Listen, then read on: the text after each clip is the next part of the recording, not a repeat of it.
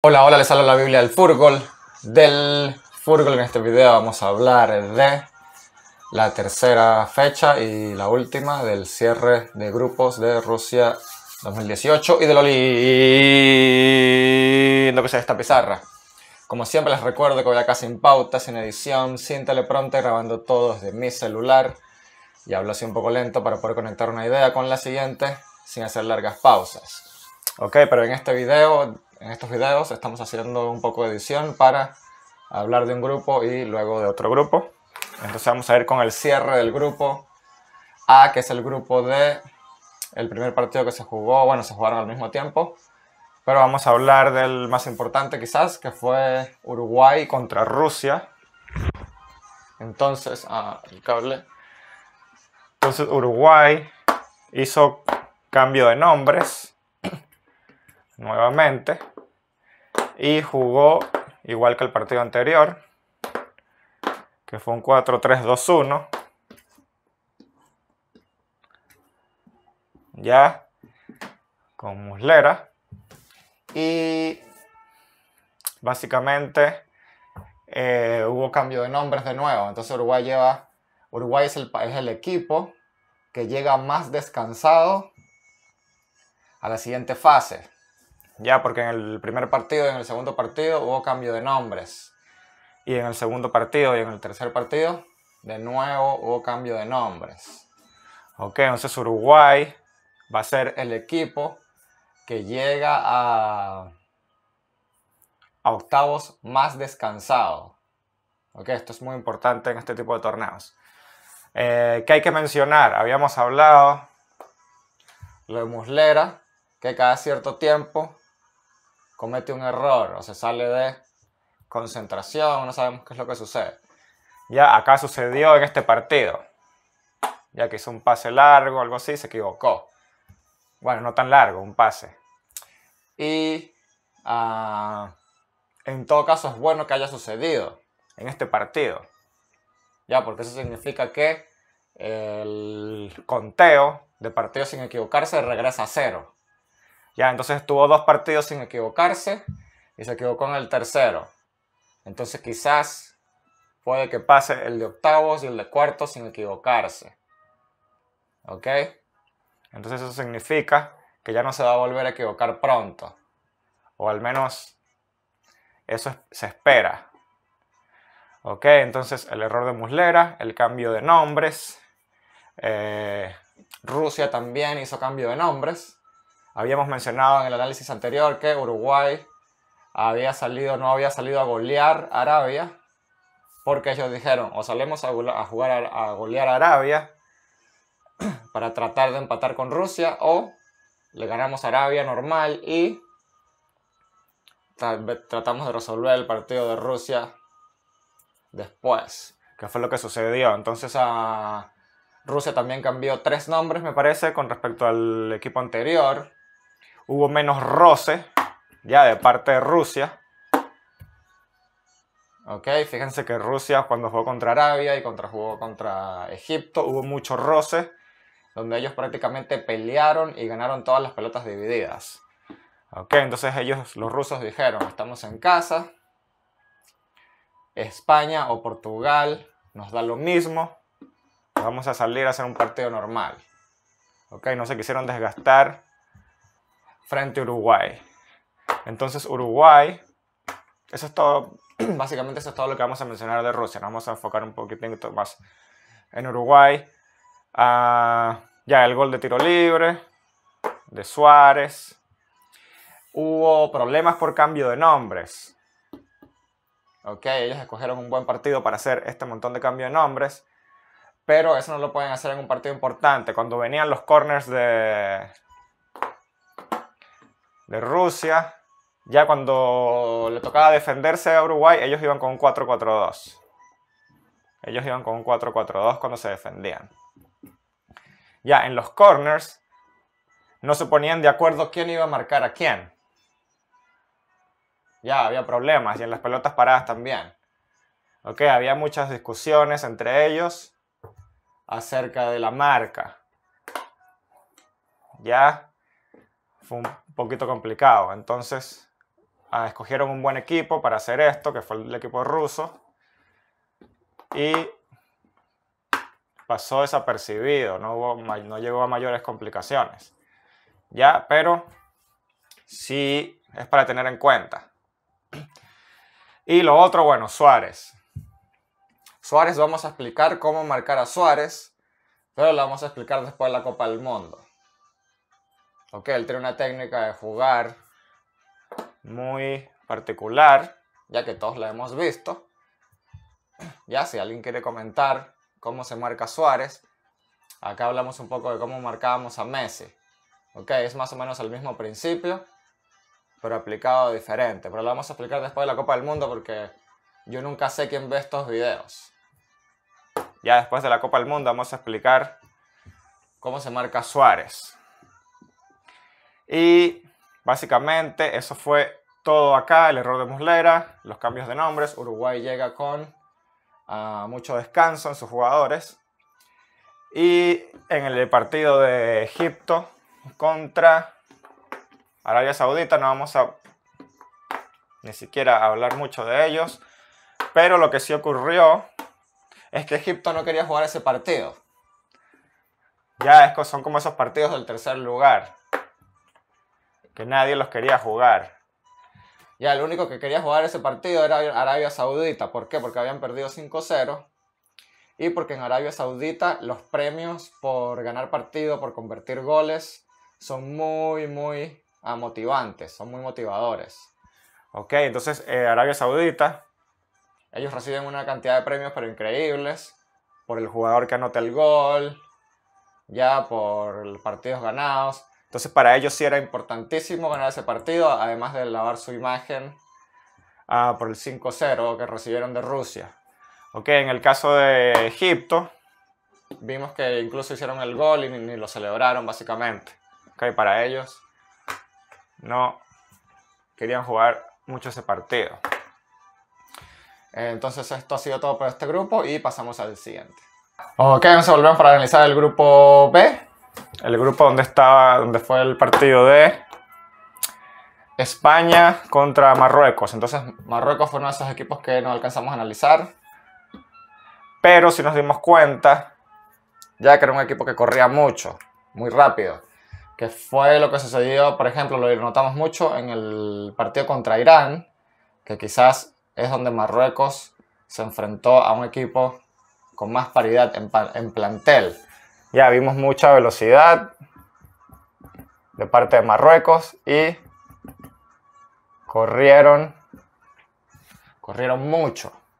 Entonces, ¿cómo fue que dijimos que se le gana a España? Además del cuadrado, corriendo más rápido que ellos. ¿Ok? Entonces, ah, ese es, el sistema que le complica a España. No es que ah, España está jugando mal. No, es que se enfrentó con un equipo que justamente su sistema de juego, que es correr muy rápido, es lo que le perjudica a España. ¿Ok? La razón por la que el partido quedó empatado fue porque Marruecos no tiene un gran plantel. Ya, pero si Marruecos tiene un buen plantel parejo al de España, debido a ese sistema, lo más probable es que hubiesen ganado el partido. ¿Ok? Eh, básicamente eso fue todo lo que ocurrió en este, este partido. Al final España en, el, primer gol pudo imponer un poco su juego y no pasó a mayores, no ganó Marruecos, quizás por uh, diferencia de plantel. Ya, pero en la parte táctica, en la forma de juego, Marruecos fue superior porque justamente correr rápido es lo que ellos hacen. Ahora pasamos al partido de Portugal contra Irán. Ya recordemos que Marruecos fue uno de esos equipos que no alcanzamos a analizar y por eso ah, lo que sí habíamos notado era lo de correr. Lo de Irán, si lo alcanzamos a analizar antes del sorteo de grupos. Y habíamos dicho, antes del sorteo de grupos, que Irán era el gran candidato a dar, a dar la sorpresa del Mundial. Pero había una incógnita. Su jugador, Masud Shaheai, creo que es que se pronuncia o se escribe. ¿Ok? Había una incógnita, si él iba a jugar o no, porque en ese momento estaba sancionado por cuestiones políticas. ¿Qué fue lo que pasó después del sorteo? Incluso si hubiese estado este jugador. Le tocó un grupo demasiado complicado. ¿Ok? El campeón de la Euro. Y España, que para mí es el candidato a llegar a la final. Ok, quizás me equivoco, eso ya el, tiempo lo va a probar o no. Pero le tocó un grupo, a mi parecer, muy difícil a Irán. ¿Qué fue lo que ocurrió? Bueno, en el partido por el lado de Portugal, jugó Cuaresma, estuvo mal porque se supone que ahora Portugal sí iba a tener el balón. Entonces Cuaresma tuvo que haber jugado en la banca. Cuaresma tuvo que haber sido titular contra España.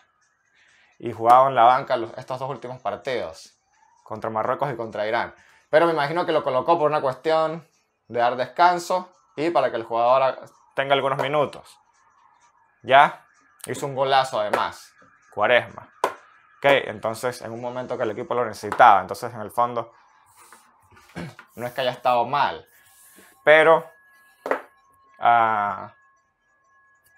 quizás si hubiese jugado de otra forma, hubiese ganado Portugal. Por eso digo que es que, bueno, es algo muy... Es difícil a juzgar porque es el tercer partido. Entonces ya tienes que lidiar con los errores que cometiste antes. Entonces, por un lado estuvo bien que entrara Cuaresma y por otro lado no. Ok, Cristiano Ronaldo volvió a jugar allí, en su posición donde más juega, que es acá, pero como eran dos delanteros, jugó allí. Ok. Y lo de Irán, no volvió a jugar el, el Masud Shahai. El mejor jugador de Irán solo jugó 60 minutos contra Marruecos. Jugó 60 minutos contra Marruecos. Luego no jugó contra España y no jugó contra Portugal. O sea, a mi parecer es como que la sanción la quisieron disfrazar. ¿Ya? Y para no tener problemas con la FIFA, ellos llamaron al jugador, pero lo sientan. Ya lo dejan afuera.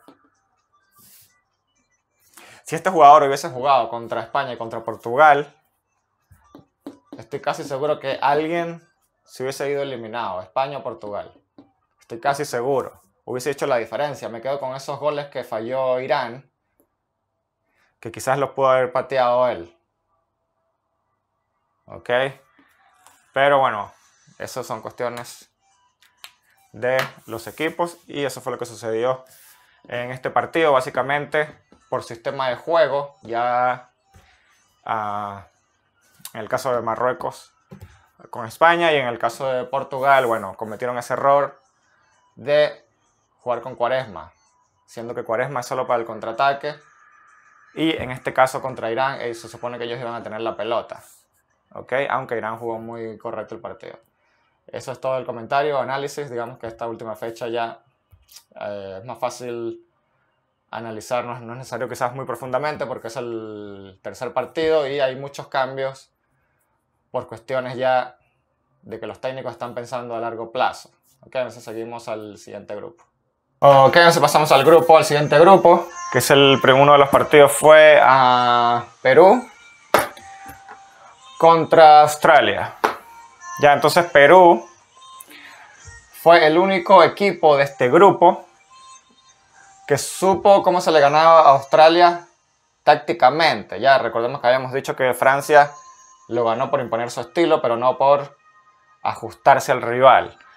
¿Qué fue lo que hizo Perú todo el partido? Y se notó demasiado. Ya, lo vimos muchísimo. Ellos cambiaban de un lado a otro. Ellos cambiaban el juego de un lado a otro. ¿Ok? Fue excesivo quizás. Ah, pero significa que Gareca hizo muy buen trabajo en este partido. De hecho, el gol Viene ya de un cambio, ya que fue bien adentro. Un cambio de lado. Ok, y el jugador viene y convirtió el gol solo. Y el segundo gol, ya si fue una jugada más preparada, eh, o sea, organizada, más del estilo de juego de Perú. Y bueno, Guerrero prácticamente con una marca y muy difícil, se sacó un golazo de pegándole primera, ¿ok? Eso estuvo muy, eso fue magnífico, ¿ok? Pero básicamente vimos mucho cambio de lado de Perú de un lado a otro, ya para ganar, aprovechar el espacio que siempre deja a Australia, porque ellos siempre van a seguir del lado donde está el balón. Y la idea es dejarlos a contramarcha, eso lo hemos explicado. Ya lo repito solo para las personas que puedan estar viendo el video por primera vez. Les doy un pequeño indicio de qué es lo que sucedió, pero pueden revisar el video de donde hablo de Australia. Australia, el número 10. Creo que es el número 10. Uno flaquito.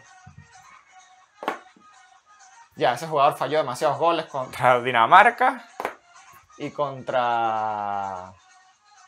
Y contra Perú ahora. O sea, fue horrible. Ok, siempre, le siempre como que le falta algo para el gol. Ok. No sé qué será, pero siempre le falta algo para el gol. Es un jugador que no, no debería estar en la selección. Además, el técnico metió a Tim Cahill faltando cuando iban perdiendo 2-0 en el último partido. O sea, lo tenías que haber metido en el partido contra Dinamarca. El partido contra Dinamarca se cansaron de llegar los australianos. Fallaron demasiados goles. Mete a Cahill. Este partido que generaron menos ocasiones. Era un partido más difícil. Ya lo metiste, pero lo metiste cuando ibas perdiendo 2-0. Ya que Cahill está en las últimas, que no juega igual, sí. Pero Australia no tiene jugadores. Cahill los clasificó al mundial, él fue el que convirtió los goles en el repechaje. Siendo que venía de un largo periodo que no había sido llamado, que no había sido titular en la selección. Ya, quizás por eso fueron al repechaje, porque no lo aprovecharon a Cahill. ¿Ok? Entonces lo llamaron, lo, utilizaron para el repechaje, convirtió los goles, o sea, Cajill los llevó al mundial. Y, ok, quizás el partido contra Francia lo viste por perdido y lo hubieses podido aprovechar fresco para los, los partidos de Dinamarca y contra Perú, pero en el partido contra, contra Dinamarca lo tenías que usar, porque se Australia generó muchas, muchas oportunidades. En el partido contra Perú, desde el arranque, porque necesitabas ganar, necesitabas tomar un riesgo mayor, no lo vas a meter cuando ya vas perdiendo 2-0, o sea, imposible. Especialmente por la forma táctica que estabas, te estabas jugando Perú, Perú te los leyó entero. ¿Ok? Entonces, bueno, habíamos dicho en forma de broma que Australia solo hace gol de penal, de corner y de cajil, y solo jugó me parece que entró en el minuto 60, o sea, en, el Mundial de tres partidos jugó media hora. Y el otro partido, no lo tenemos ni por qué analizar, que fue el de Francia, Dinamarca, que fue un 0-0. Ya no lo vamos a analizar, pero sí voy a repetir lo que coloqué en el Twitter, que es que Francia ya nos tiene acostumbrados. ¿Ya? Francia ya nos tiene acostumbrados a partidos aburridos. Ok, en el partido de Sudáfrica 2010 contra Uruguay. Ya, si ustedes tienen tiempo y cuando la estén pasando muy bien, ya, cuando estén sobreexcitados, búsquense el partido Francia-Uruguay de Sudáfrica 2010. Ese partido es aburridísimo. Ya, cuando ustedes quieran hacer sufrir a alguien, le colocan ese partido para que se aburra. Y el partido, eso fue en el 2010. Y en la Euro de la última, en el 2016, fue la Euro, el partido Suiza-Francia. Fue un partido aburridísimo. Ya fue tan aburrido que el balón se reventó en una jugada. O sea, el balón no quería, el balón quería terminar el partido ya. Dijo, este partido está muy aburrido, yo no quiero estar acá. El balón se reventó. Y ahora vimos un partido bien aburrido, Bueno, por supuesto, entró Giroud, entraron un, poco de rotación allí en Francia. Ya, porque ya estaban clasificados y para qué gastarse. Básicamente a los dos equipos les servía el empate, entonces nos iban a matar. Ya por un partido muy aburrido. Veamos ah, qué sucede con estos equipos en la siguiente fase. Entonces pasamos al siguiente grupo. Ok, entonces pasamos al siguiente grupo. Vamos a analizar el, ese es el grupo D, el grupo el partido más importante de ese grupo era el partido de Islandia contra Croacia, ya, porque si en ese partido ganaba Islandia por, bueno, hasta por la mínima, daba lo mismo lo que ocurriese en el otro partido. ¿Ya? ¿Qué sucede? Hubo mucha especulación acerca de este partido con razón quizás, pero también hay que recordar ahora que en Europa hay va a haber un torneo diferente ahora que bueno, yo no estoy muy de acuerdo con ese tipo de torneos porque básicamente va a ser muy difícil jugar amistosos contra selecciones europeas en el futuro, me parece, porque van a utilizar estas fechas. ¿Ok? Eso va a perjudicar no tanto a Sudamérica, porque Sudamérica cuando juegan entre ellos mismos la cantidad de puntos que se reparten para el ranking FIFA es la misma, pero va a perjudicar a las federaciones de Asia, a las federaciones de África, a la CONCACAF, ok, va a perjudicar a las otras federaciones. Ahora, el ranking FIFA cambió recientemente, no sé si estos cambios ajustaron algo por allí, no lo he revisado. Ya, pero Croacia no puede regalar partidos. Los, los, los equipos europeos en estos momentos les importa mucho el ranking FIFA por ese torneo que van a hacer mm, diferente ahora, que es como van a separar en grupos por ranking FIFA y cuestiones así. Entonces ellos no pueden regalar puntos del ranking así de fácil. Claro, nada es más importante que el mundial y a lo mejor ellos por una cuestión estratégica de largo plazo hubiesen podido dejar afuera a Argentina o hubiesen podido jugar un partido relajado. Ya, pero obviamente no fue el caso como lo vimos. Ok, ah, me parece que no jugó Mansukic. Me parece que no jugó Mansukic. Entonces fue un poco diferente, fue un poco más accesible el juego para, para Islandia, un poco más móvil, un poco más de movilidad. Ya, aunque uh, Croacia siempre hace lo mismo. Vimos que los dos goles de Croacia vinieron o por lo menos uno, de uno de sus jugadores más rápidos, ya que es como siempre convierten los goles, de larga distancia con Rakitic o Modric, o con los jugadores rápidos que suben y pueden lograr un disparo o alcanzar una pelota de esos pases que ellos hacen. Ok, en el caso de Islandia, luchó mucho, tuvo muchas oportunidades, precisamente por la ausencia de Mansukic. Ok, generó mucho, pero aún así no les alcanzó. Ok, eso yo diría que sería todo más o menos. Entró el arquero de. El arquero de Croacia, pero el. No el que yo digo. Ya, el, que, el arquero que yo menciono ah, es el que fue a la China Cup. El que entró ahora fue otro. Entonces eso nos hace pensar que este arquero, creo que su nombre es Dominic. Uh, es el tercer arquero y no el segundo como yo pensaba, aunque él alcanzó a jugar unos partidos en amistosos, me parece, como segundo arquero. Ok, pero el técnico se decidió en este partido contra Islandia a jugar con el otro arquero. Ya, o sea, el arquero que yo digo que es el bueno de, Croacia no ha jugado. Ya, porque por eso me preguntaron, alguien me preguntó por Twitter o en un comentario. Ya en el partido de Argentina contra Nigeria. Ya, ¿cuándo fue la última vez que Nigeria le ganó a Argentina por la Copa del Mundo? Ya es como una maldición. Ya es como una. Una cuestión psicológica, no sé. Entonces creo que nunca le ha ganado por la Copa del Mundo Argentina.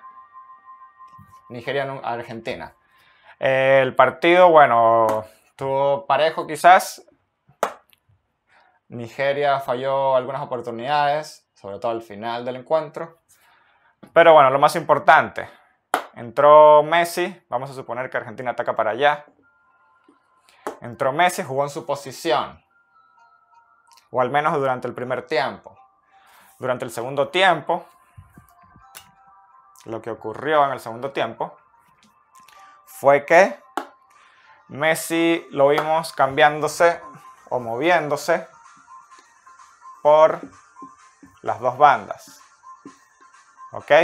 Lo vimos mucho en el centro. Lo vimos mucho en el centro, pero era porque él se estaba moviendo para una banda y para la otra. Estoy hablando del segundo tiempo. Segundo tiempo. Ya tengo el cable atrapado ya, ok. En el segundo tiempo. En el primer tiempo estuvo allí. Y por eso hizo el gol. ¿Ya? Hizo el gol. Y en el segundo tiempo estuvo más movible. ¿Ok? Iba a ayudar por allá. Se regresaba para allá. Y por eso lo veíamos muchas veces allí en el centro. Jugó mercado, pero jugó rojo de central. No sé si de este lado o de este lado. Ya, pero jugó mercado. Y jugó rojo. Ya, yo he dicho que esos dos jugadores tienen que jugar juntos. ¿Ok? Creo que lo mencioné en uno de los videos de Argentina. Que ah, Rojo, después de Messi, Rojo y Di María son los mejores jugadores. ¿Ok? Lo que pasa es que Rojo, como se hizo expulsar en, la Copa, en una final de la Copa Centenario, creo que fue, eh, quedó mal visto. Ya, pero él fue víctima del árbitro que expulsó mal a Marcelo Díaz y quiso compensar con Rojo. Ya Rojo no tiene la culpa, fue algo, una situación extrafutbolística, fue una cuestión de partido, no sé cómo llamarlo. Ya, pero entonces básicamente esos dos jugadores siempre tienen que estar en la cancha.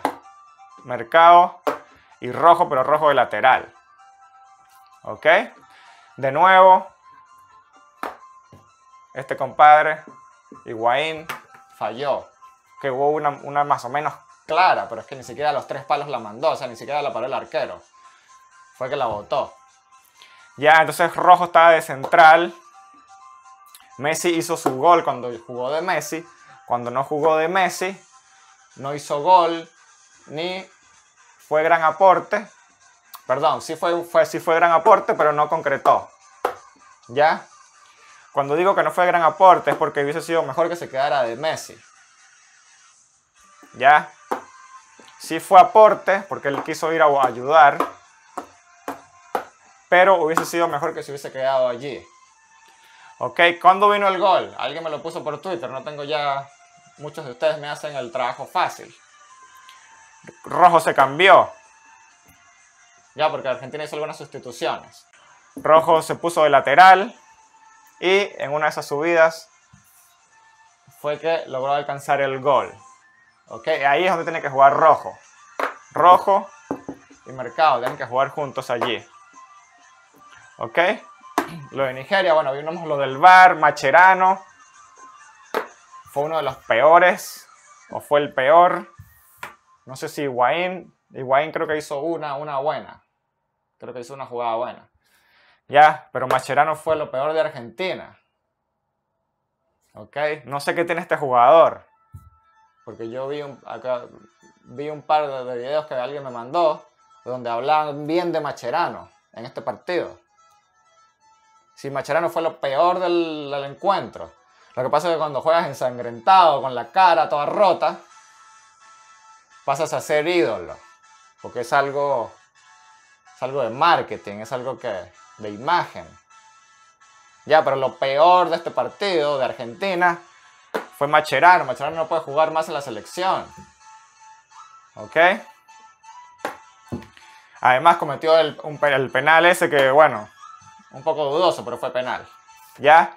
Y me parece que eso es todo lo que hay que analizar. Básicamente Argentina lo ganó en el primer tiempo cuando Messi jugó de, de Messi. Y en los últimos minutos cuando Rojo jugó de lateral por la izquierda. ¿ok? Entonces esto es todo por este grupo y pasamos al siguiente. Ok, entonces pasamos al siguiente grupo donde hubo el partido Brasil contra Serbia. Ya, entonces, ¿qué era lo que habíamos dicho de Serbia? de cómo se le hacían los goles. Ok, veimos que el primer gol de Serbia vino de una jugada organizada. Entonces habíamos dicho de Serbia que su punto muerto en jugadas, cuando los rivales están organizados y cuando ellos ya pasaron todas las transiciones defensivas, su punto muerto es al centro, ya que fue de donde vino, fue hacia donde vino el pase y el gol. ¿Ok? Eso ya lo habíamos analizado acá, que Serbia tenía su punto muerto acá. Eso lo pueden chequear en un video que se llama Serbia al rey de la improvisación. Habíamos dicho que su punto débil en jugadas organizadas era la parte central allí. Y el segundo gol de Brasil vino de un corner. Ya. Entonces no hay mucho que analizar allí, excepto quizás agregar algo hacia, las características del arquero. Ya que no recuerdo exactamente cuál había sido el detalle del, del, arquero en ese caso. Y bueno, Serbia también tuvo muchos... Uh, atacó mucho por el lado de Kolarov, ya que es precisamente uno de los puntos débiles de, de Brasil, que hemos dicho que si bien si la jugada es organizada, y lenta es por un lado y si la jugada es rápida es por el otro lado. ¿Ok? Pero después a los mediocampistas defensivos de Brasil se cargaron un poco de ayudar allí y reforzar. ¿Ok? Entonces allí es donde los técnicos, ¿ok? Durante el partido se dan cuenta ya de lo del el, primer gol quizás fue algo preparado que ya sabían. Pero ya la parte defensiva, cuando Brasil estaba siendo sobrepasado, ok, ellos un poco trataron de ir a cubrir los espacios que estaban dejando, porque Serbia los estaba atacando mucho. Ok, entonces ahí es donde el técnico hace la diferencia, en esos momentos, saber leer el partido a tiempo. Y el otro partido de ese grupo fue el partido de Costa Rica-Suiza. Suiza fue uno de los equipos que no analizamos. Entonces es muy difícil analizar los goles que recibió Suiza, pero tampoco habría mucho que analizar, eh, solo quizás estudiar a su arquero, porque uno de los goles vino de córner. Oh, vamos a colocar a, ya Costa Rica de verde y Suiza de rojo. Ya. Eh, los colores son los para representar. Ya sabemos que el verde no tiene mucho que ver. Entonces, vino de córner y el segundo gol fue el penal que pegó el travesaño y el arquero tuvo mala fortuna y entró. Porque le pegó en su espalda o en la cabeza, no recuerdo. Ya, pero sí es interesante analizar los dos goles que recibió Suiza, porque eso sí que recibió Costa Rica, perdón. Los dos goles que recibió Costa Rica vinieron de nuevo por el mismo lado, por el mismo punto débil. ¿Ya? Bueno, creo que habíamos dicho que Costa Rica en los verdes y ahora los estoy utilizando para Suiza. Ok, pero se entiende. La Suiza, el primer gol hizo un centro allí hacia donde estaba Habíamos dicho que este y este eran los puntos débiles de la línea de 5 de Costa Rica porque ellos hacen un montón de movimientos antes. No necesariamente tiene que ser el jugador, sino el que esté en esa posición porque ellos hacen algunos una transición un poco compleja. Ok, entonces estos son los puntos débiles, eso lo explicamos en un video que se llama Costa Rica, equipo en función del arquero. En el primer gol vino que, vimos que el central no pudo ir a cortar, estaba un poco alejado y el jugador suizo lo que hizo fue, no centró al arco, pero sí centró al centro donde nadie lo esperaba. Ya y convirtió. Pero básicamente la jugada vino por esta falla y luego el otro jugador estaba muy cómodo. Y en el segundo gol fue igual, aunque pareciese que fue el lateral. Me parece que el lateral estaba ni, ni siquiera llegó a la jugada. Entonces básicamente fue el mismo la misma falla. ¿Ok? o sea, el técnico de Suiza, me imagino que habrá estudiado el equipo y descubrió esa falla también. Ah, no importa quién habrá sido el jugador, recuerden que ellos hacen una transición un poco compleja y este jugador, por lo general, puede cambiar. Por eso es que el, por eso es que el, punto débil es ese. ¿Ok? Porque no siempre están fijos esos, esos jugadores, sino que ellos se intercambian las posiciones. Ok, entonces básicamente ese es el análisis por este grupo y pasamos al siguiente. Ok, entonces pasamos al siguiente grupo, el partido Suecia, México. Ok, de nuevo. Suecia fue uno de esos equipos que no alcanzamos a analizar. Y la verdad que fue una lástima porque pasó primero el grupo y hubiese sido bueno haberlo estudiado antes para ver si hubiésemos sido capaces de predecir algo de aquello. ¿Ok? Aunque en línea general eh, lo que sí hicimos fue analizar Alemania y ya habíamos dicho, habíamos hablado mucho de todos los problemas que estaba arrastrando Alemania. ¿Ok? Pero bueno, vamos a pasar al partido de ah, Suecia contra México. ¿Qué fue lo que sucedió en ese partido? En ese partido México nunca se sintió cómodo. Uno, México no estaba cómodo. Número 2. No estaba cómodo. Número 2. No sé si contarlo como un hecho. Pero se recuerdan lo que habíamos dicho de que el partido contra Alemania nos dijeron que Carlos Vela. Toda esa historia de cómo le prepararon el partido a Alemania. Ya, creo que nos mintieron. Ok, ellos no prepararon el partido contra Alemania tanto como dicen. Ok, a lo mejor sí lo prepararon, pero no de la forma que lo dijeron. Ya. Entonces me parece que el partido contra Alemania no lo prepararon tanto como dijeron. Se notó en este partido. Ya. Y número 3, México no pudo hacer su juego. No pudo hacer su juego. ¿Cuál es el juego de México que habíamos dicho? Que ellos hacen pases de cambio de lado. Ok, vamos a suponer que este es Corona. Ah, perdón. Ochoa. Ya Corona es el otro arquero que está en la banca. Este es Ochoa y también es el otro jugador que, que que es uno de los mejores de México, lo tienen en la banca. Ya ese es el arquero Ochoa, entonces México ataca para acá. Ellos hacen muchos cambios de lado en su propia, en el primer cuarto de cancha, allí empezandito. Y luego ellos no hacen más cambio de lado, así como pases largos, digamos. Ya ellos ya no hacen pases largos acá ni acá.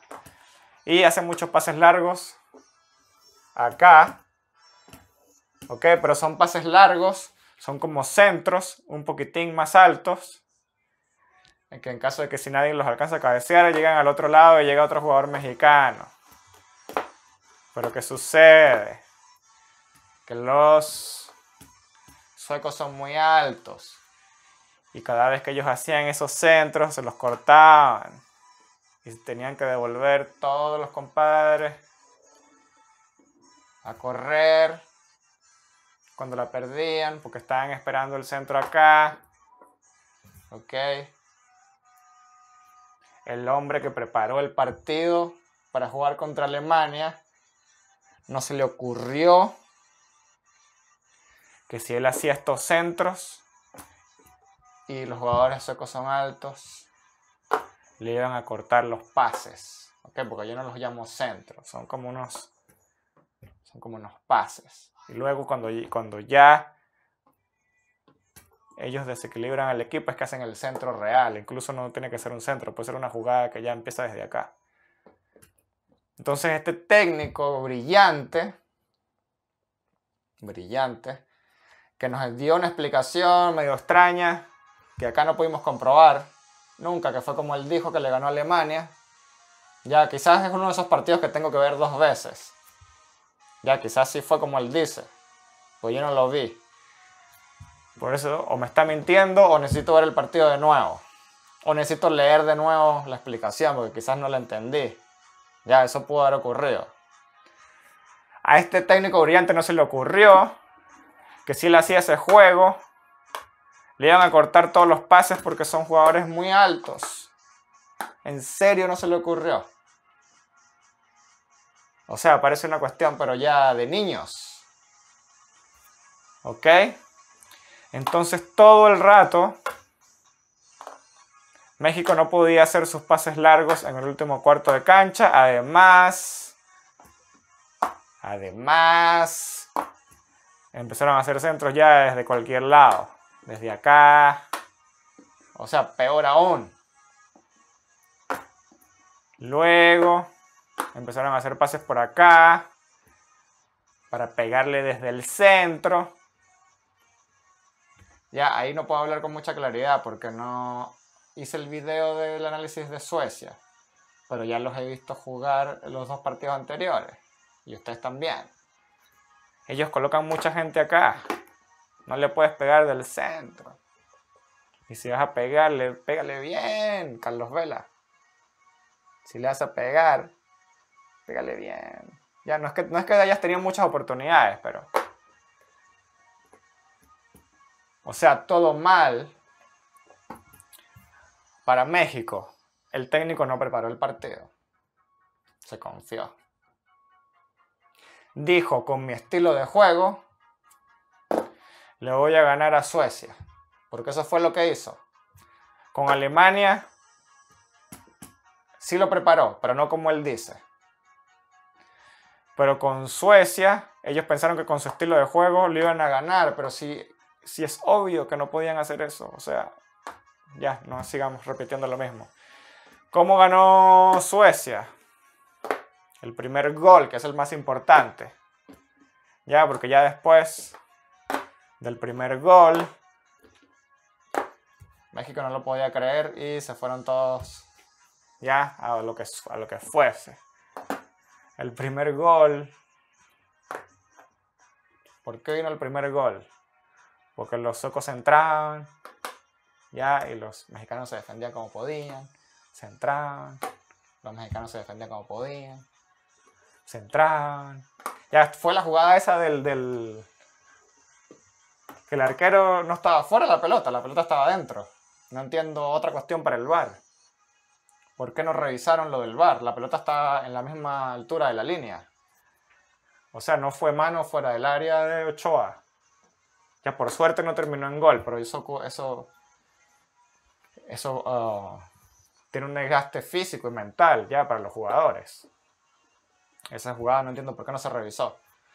Ya, pero cuando vino el gol, todo el mundo esperaba el centro alto. Porque ya ellos tenían rato, además tienen los jugadores para hacer la altura, el centro alto. Pero hizo el centro por abajo, nadie se lo esperaba. Y de ahí básicamente nació el gol. Ya porque la defensa de México estaba esperando un centro por arriba y, cuando vino por abajo todos se sorprendieron. Y uh, como no hemos analizado Suecia, no sé si se notaron que ellos siempre atacaban, solamente cuatro jugadores iban al ataque. Solo cuatro. Y los otros seis quedaban atrás. Solo cuatro iban al ataque. Ya. Ya luego vinieron los otros dos goles, vino un autogol. Ya todo mal para México. Pero básicamente todo empezó porque no prepararon el partido. Ya además, me parece que no tenían ni por qué salir a buscar el partido porque el empate, con el empate pasaban de primero. Entonces, había que buscar algo más normal. Ahora viene lo de Corea del Sur y Alemania. Ya vamos a suponer que esta es Alemania, que esta es Corea. Ya.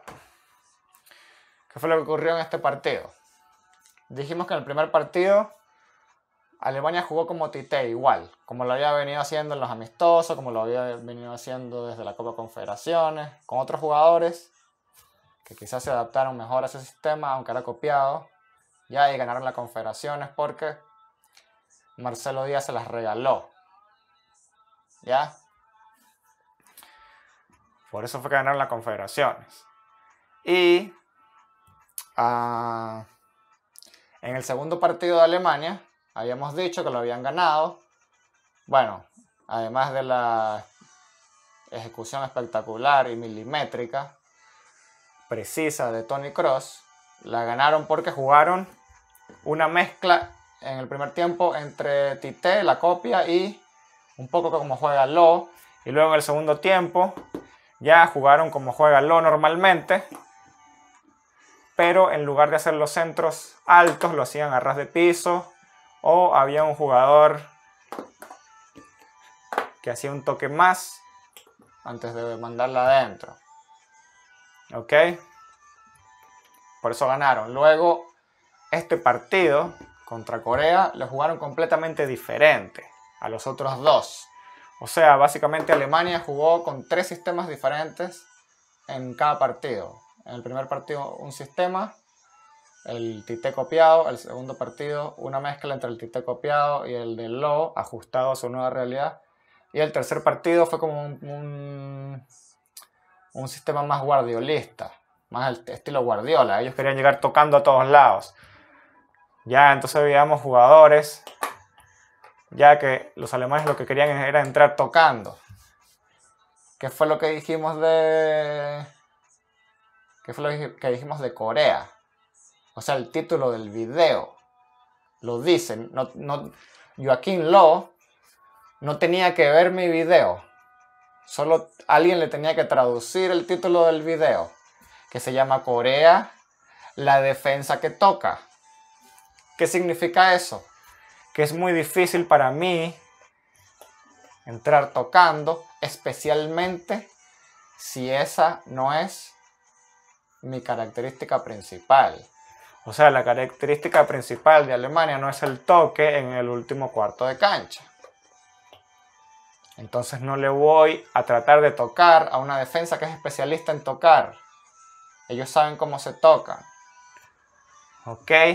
Incluso vimos, hubo una en el segundo tiempo que fue increíble, que cometieron tres errores. Un alemán le trató de, hacer un pase acá y un coreano la interceptó y se la devolvió. Luego trató de hacer un, centro, un mini centro, porque estaba muy cerca y se la pegó. Y luego este compadre trató de meterse por aquí y pasársela a uno y este la botó para allá. O sea, hubo esa, esa jugada engloba y resume lo que fue el partido. ¿Ok? Un planteamiento completamente pésimo. ¿Ok? No le puedes entrar tocando a una defensa que toca al menos que seas España, al menos que esa sea tu especialidad. Si tu especialidad es tocar, ya, vamos a ir a un duelo de tocar.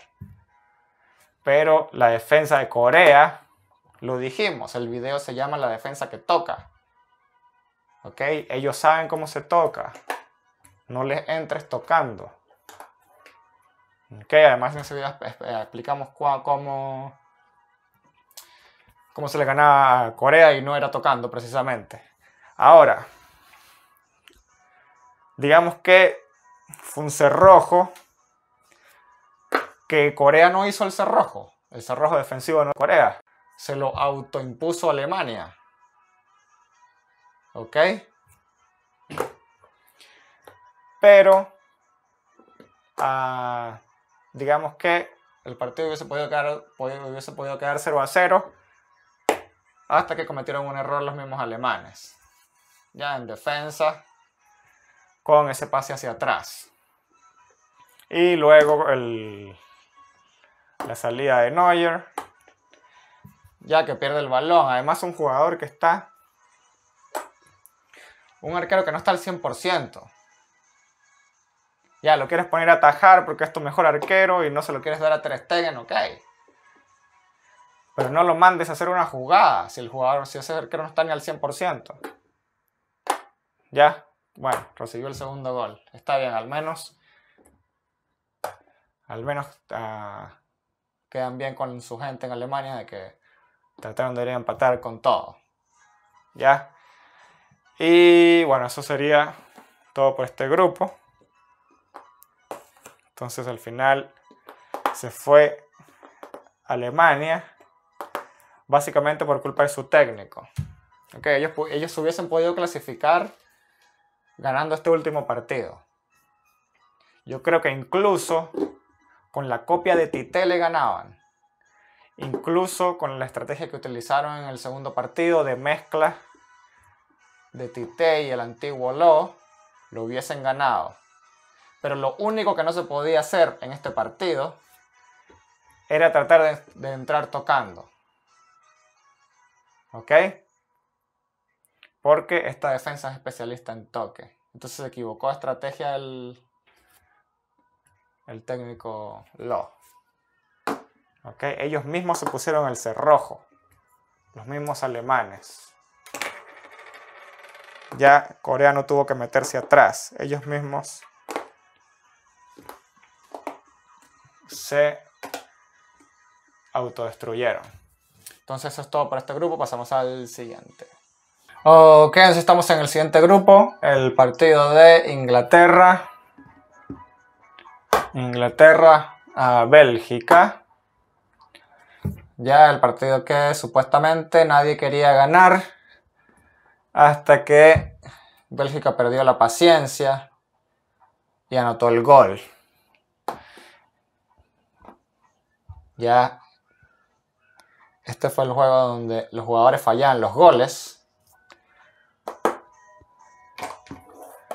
Los jugadores fallaban los goles de los dos equipos fallaban los goles y se volteaban y se iban. O sea, yo quiero ver si estos jugadores más adelante van a fallar los goles y van a hacer lo mismo. O si van a fallar los goles y se van a poner las manos en la cabeza, se van a arrodillar. Dios mío.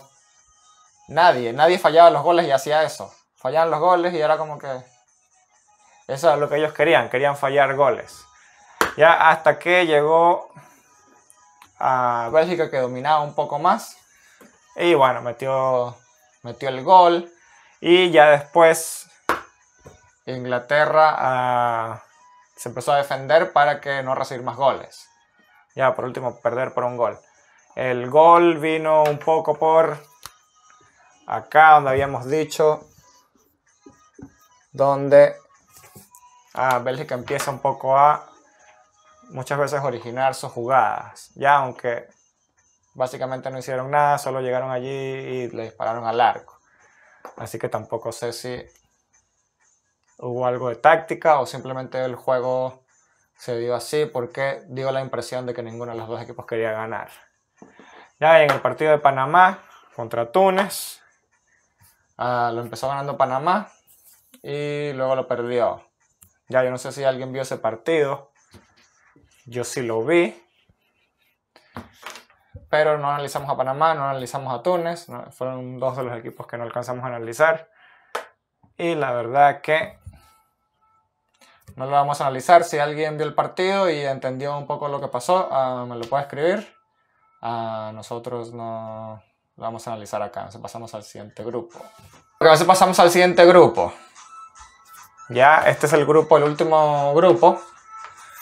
Y es casi imposible, por no decir que es imposible, ya, pero se me va a hacer más fácil analizar los dos partidos a la vez. Es muy difícil analizar cada partido por separado. Entonces, Colombia jugó contra Senegal y Japón jugó contra Polonia. Senegal, Colombia, Polonia, Japón. Ok, en el primer partido, Polonia. Polonia perdió el primer partido. Ya contra Senegal. ¿Ok? Ese partido Polonia lo salió a ganar. Senegal lo salió a ganar y lo ganó. El partido de Colombia contra Japón. Japón, les comenté que siempre hacen esa jugada preparada, o por lo menos ya la habían hecho antes, de la mano, de la expulsión y el penal. Peckerman no preparó el partido. Ya, Peckerman. Ya, no tengo el, negro por acá. Déjame ver si ustedes me permiten hacer esto. Ya, entonces Peckerman un error. Segunda fecha. Jugó Polonia contra Colombia. Polonia les comenté que habían salido el empate porque cambiaron tres jugadores. Y Polonia perdió. Ya cometieron un error. Ok.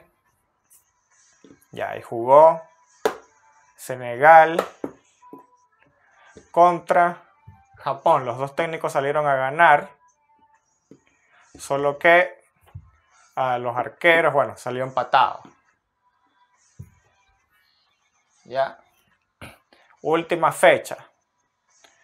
Jugaba Japón contra Polonia. Jugaba Colombia contra Senegal.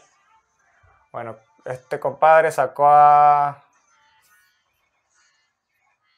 sacó a James Rodríguez. ¿Ok? ¿Qué hizo Senegal? Vamos, a vamos al análisis del partido como tal. Ya estamos, estamos haciendo un análisis general primero de cuál técnico se equivocó más o cuál técnico especuló más. O sea, Peckerman, ya, bueno, de las dos solo una fue especulación, que fue la última. Lo primero fue un error. Entonces vamos a colocárselo uno solo. Ya la jugada de Japón fue que no preparó el partido, pero no fue especulación. Pero lo de Polonia con Colombia sí fue especulación en la segunda fecha. Entonces jugó Senegal. ¿Qué fue lo que hizo Senegal? ¿Qué fue lo que dijimos de Colombia? En un análisis que se llama Colombia, las zonas prohibidas de Peckerman o algo así. Peckerman, las zonas prohibidas. Colombia, ya, ese, ese video. Habíamos dicho que Colombia sale jugando con esos cuatro jugadores. Ver qué fue lo que hizo Senegal. Senegal colocó dos delanteros que estaban acá todo el rato. Ya, entonces estos dos compadres no podían salir libremente. Entonces se pasaban para adelante. Y estos dos trataban de ir a enfrentarlos, pero no podían. Porque si pierdes el balón acá, es un mano a mano que le llega a Ospina. Ya, eso fue lo que hizo Senegal. Ningún equipo, ninguno, de los nueve equipos que enfrentó Colombia en la eliminatoria, ningún equipo hizo esta estupidez, que es algo obvio. Ningún equipo lo hizo. Ni siquiera Pisi cuando fue a empatar en Barranquilla hizo esto. Esto anuló a Colombia completamente. ¿Qué tenía que hacer Colombia? Bueno, ¿qué fue lo que hicieron primero? ¿Qué fue lo que hicieron? No puedo salir porque tengo estos dos, la estoy pasando para allá. La estoy pasando para allá. James no me está bajando. ¿Ok? Lo saco.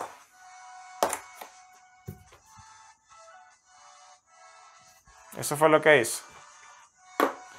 ¿Qué tenía que hacer?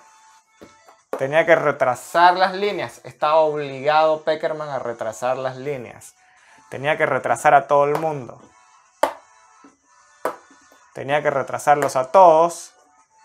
Y él si quería, él podía seguir usando su diamante como él le gusta. Pero desde acá. Y llegar acá y luego quizás empezar otro diamante. Ya estoy pensando como Peckerman. Yo no haría eso, pero estoy pensando como él, lo que él debía haber hecho. Tenía que retrasar todo el equipo. Porque estos dos compadres que no se movían de allí, ya le echaron a perder todo el juego a Peckerman. Todo el juego. Solo por hacer eso. Entonces Senegal neutralizó a Colombia durante todo el partido. Si el gol vino de córner. Los neutralizó durante los 90 minutos. Y la única razón, la única razón por la que Colombia hizo el gol, y volvemos a la cuenta, entonces Polonia tenía uno y Colombia tenía el de hoy que sacó a James. Japón no tenía por qué salir a ganar ese partido contra Polonia hoy. Y lo salió a ganar si yo estaba viendo el partido. Yo vi los dos partidos a la vez. Japón llegaba y llegaba y llegaba. No era necesario ir a buscar el partido. ¿Y qué fue lo que hizo Colombia? Esperó, esperó. Ah, me están neutralizando, no me importa. Yo voy a esperar. Estoy cayendo descalificado. No importa, yo voy a esperar. Hasta que se equivocó Japón y le convirtieron un gol. Polonia le convirtió un gol. Y después de eso, fue que Colombia se atrevió a ir a buscar el partido. Después de que supieron de que Japón había recibido un gol, ellos dijeron, ok, ahora sí vamos a atacar. Ahora sí vamos a salir un poco. Y fue que consiguieron atacar un poco más, sí atacaron un poco más. Y luego vino el corner y convirtieron el gol. ¿Qué sucedió después del gol? ¿Qué sucedió después del gol de Colombia? no sucedió nada. Los, el DT de, de, Senegal siguió con estos dos allí. Parece que el equipo no está informado que estaban siendo eliminados porque estaban jugando igual. Como que si el 1-0 le servía. ¿Ya? Y no hizo nada. No sé cómo él pensaba empatar ese partido. Entonces el técnico de Senegal, él salió a empatar este partido y cuando lo perdió, cuando le convirtieron el gol, no supo cómo reaccionar. Todo por salir a especular. Entonces en este, en este grupo, todos los técnicos especularon. Uno, uno, uno, uno. Ok, Colombia en el último partido, Japón en el último partido, lo planteó mal. Senegal en el último partido y Polonia en la segunda fecha. Ok, entonces básicamente no hay mucho tácticamente que analizar. El gol vino a un corner y el gol de Polonia por Japón querer salir a ganar el partido. Entonces eso ha sido todo por este video. Si les gustó le pueden dar a like lo pueden dar a me gusta, manito para arriba, lo pueden compartir. Si no se han suscrito, lo pueden hacer. Si les llega una notificación en mi próximo video. Algunas personas me han escrito que están suscritos y no les llega la notificación. Alguien me dijo que hay que suscribirse y además darle a una campanita. Una cuestión así. Y ahí les recuerdo que también tengo una página donde puedo recibir donaciones. Así que se despide ustedes la Biblia del Furgol. Del Furgol.